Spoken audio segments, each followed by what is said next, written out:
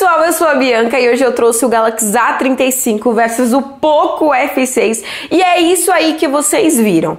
O Galaxy A35 está se destacando um pouquinho mais do que o nosso queridíssimo Poco F6, mas aqui nesse vídeo a gente vem atrás de custo-benefício.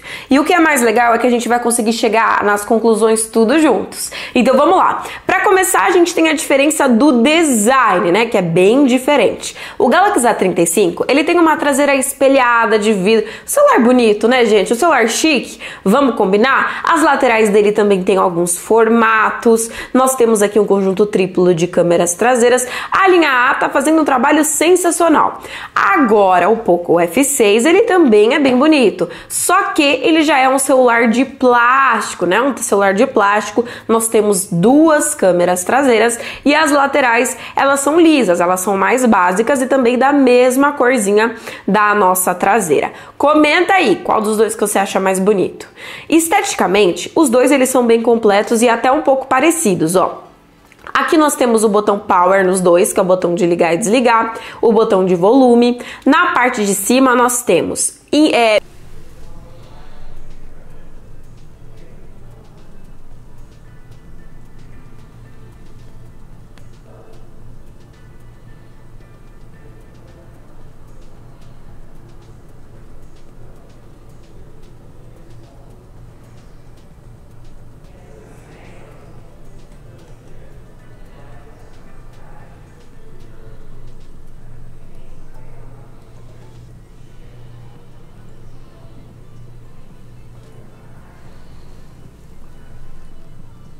E o seu Xiaomi tendo o infravermelho, você também pode usar ele como um controle remoto. Eu tenho aqui o controle do ar do estúdio e eu não só consigo controlar o ar através desse controle porque o controle veio com ele na caixa. Não, é porque ele tem o infravermelho, que é essa luzinha aqui na parte de cima. Então, é, a gente pode controlar toda a nossa casa através do nosso celular. Infelizmente, os celulares da Samsung não vêm com essa mesma tecnologia.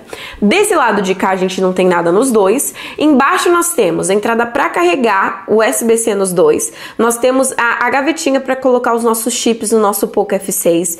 Nós temos também microfones e saídas de som aqui nos dois. Inclusive, nós temos duas saídas de som. Aquela ali embaixo, essa aqui, ó, no Poco F6 e a saída de som do A35 é em cima da câmera de selfie. Significa que a gente tem o áudio estéreo nos dois. Então, pra gente ouvir música, assistir filme ou jogar, a gente vai ter a melhor qualidade sonora nos dois.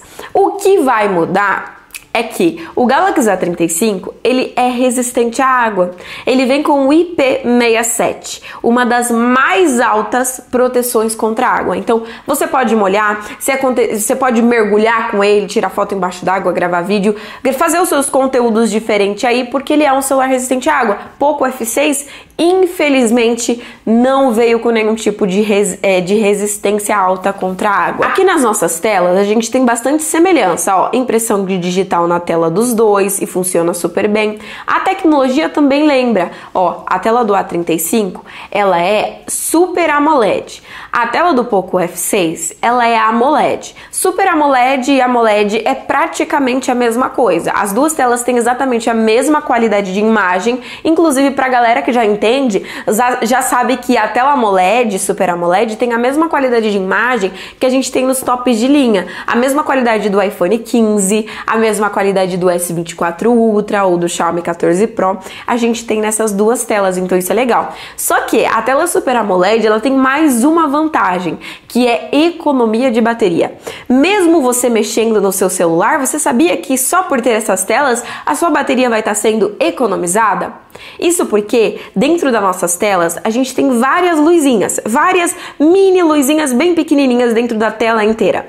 E essas luzinhas, elas são conhecidas como pixels, e elas funcionam individualmente. Quando uma luzinha acende aqui no canto da minha tela, a outra luzinha no outro canto fica apagada ao mesmo tempo. E as que estão apagadas são as partes da nossa tela na cor preta. Então, se você estiver assistindo um filme, chegou uma parte de suspense, se o fundo do seu filme ficar na cor preta, ali vai estar apagado. Ou se você estiver jogando e a roupa de um personagem no jogo, então sempre vai estar presente a economia de bateria e a gente não vai nem perceber. Aqui na tela do meu Poco F6, ó, eu tenho algumas coisas na cor preta, aonde não está consumindo energia. Por mais que sejam espaços pequenos da minha tela, isso ajuda minha bateria durar muito mais tempo. Então isso é muito importante. Na questão de velocidade, a gente também tem a mesma velocidade aqui nos dois.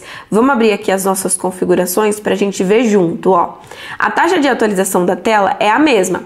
As duas vêm com 120 Hz. E vocês sabem que quanto mais rápida for a taxa de atualização da nossa tela, mais rápido e mais fluido é o nosso celular. Muitas pessoas não dão atenção para isso, mas é muito importante, porque a gente quer celulares rápidos e telas de 120 Hz já são consideradas gamers, já são consideradas pela sua fluidez e velocidade. Só que até agora, o A35, ele acabou se saindo melhor do que o Poco F6, porque ele já é de vidro, ele já tem proteção contra água. De resto, ele esteve no mesmo patamar do Poco F6. Só que o diferencial é o seu preço, e é a maior diferença entre os dois também. O Galaxy A35 hoje em dia está sendo vendido mais ou menos por 1.450 reais a 1.500. Então, uma faixa de preço surreal. Ele é um celular com preço de entrada, mas ele já é resistente à água. Ele já tem uma traseira de vidro. Na verdade, ele teve uma queda de preço, tá?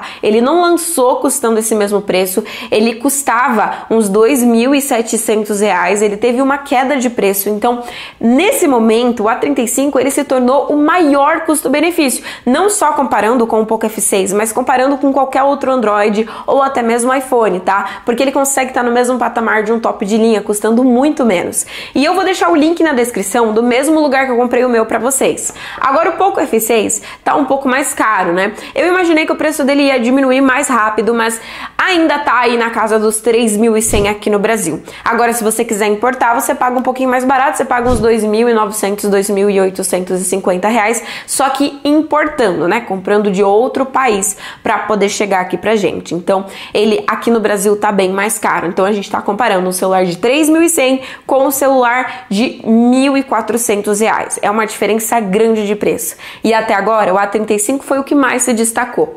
E quando se fala de câmeras, então o A35 ele se destaca muito mais, porque a linha A da Samsung ela tá muito elaborada em, em fotos e ele tá dando um pau no Poco F6. Vamos lá ver para vocês entenderem melhor. A câmera padrão do Poco F6 ela é de 50 megapixels e do A35 também. Os dois eles estão mais ou menos no mesmo patamar. Só que o motivo de eu gostar das fotos tiradas no A35 são as cores, que eu acredito que as cores elas ficam mais próximas da realidade do que as fotos que eu tiro no Poco F6. Mas comenta aí o que, que você acha.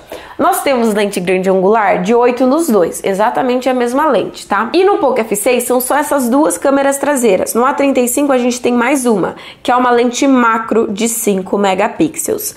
A câmera de selfie, ela também é diferente. Ela é de 20 megapixels no Poco F6 e 13 megapixels no Galaxy A35. E aí, o que, que vocês acharam? Eu quero que vocês comentem aí a sua opinião. E como vocês viram, eu prefiro as câmeras do A35 porque elas trazem cores mais próximas da realidade do que as fotos tiradas no Poco F6.